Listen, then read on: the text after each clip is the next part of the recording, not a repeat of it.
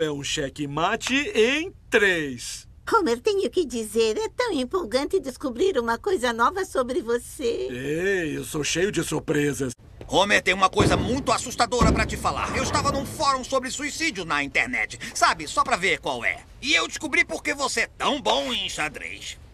Continue. O xadrez representa o seu desejo de matar o seu próprio pai. Mas que? Mas isso é ridículo!